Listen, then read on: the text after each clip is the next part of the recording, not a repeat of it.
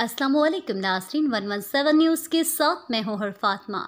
खबर शामिल करते हैं ब्यूरो चीफ मलिक अवैस की रिपोर्ट के मुताबिक। Faisalabad city police officer Usman Akram Gondal ने पाँच एस एच ओस के तकरर तबादला जात के अहकाम जारी कर दिए। फैसलाबाद तारिक अमीर सब inspector S H O Raza Abad से S H O civil line तैनात अब्दुल जब्बार सब inspector S H O civil line से लाइन हासिल बासित नाजिर सब inspector S S P O P S office से। S H O Raza Abad तैनात।